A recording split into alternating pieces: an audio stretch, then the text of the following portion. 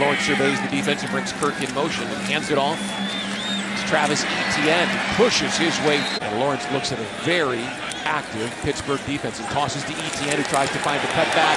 And the Steelers are there. It's what they do. And here's the handoff. And Travis Etienne breaks a tackle, gets back across the 48 to midfield. Second down and seven. Etienne is the lone setback. Here's the handoff, and he's looking for room and look. He's got, he's got a first down and more. Dancing through traffic. 23-yard line, and here's the handoff to Etienne again. He's running right. He runs into his own man, spins off of Mark.